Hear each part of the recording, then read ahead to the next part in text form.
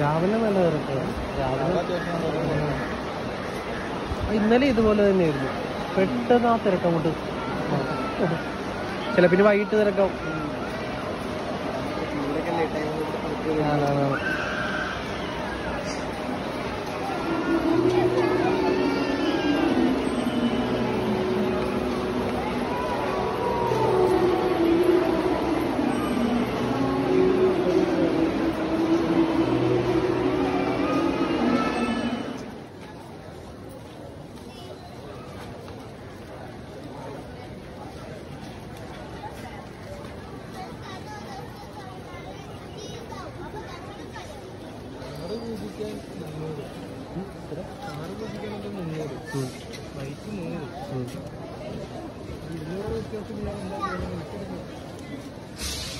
വണ്ടിയുടെ സൈസ് അനുസരിച്ച് ഈ കണ്ടെയ്നർ വന്ന അയ്യായിരം.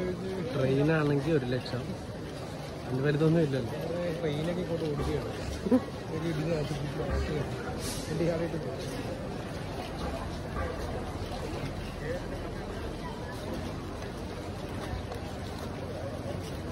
അവരോട് വീട് കൊണ്ടെന്ന് പറയട്ടെ എന്താ എടുത്തിട്ട് ലൈഫ് എനിക്ക് യൂട്യൂബിലിടാൻ വേണമെങ്കിൽ അവർക്ക് എടുത്തോളൂ ഇയാളുടെ വീഡിയോ അത് ഒരുപാട് വില ഉണ്ട്.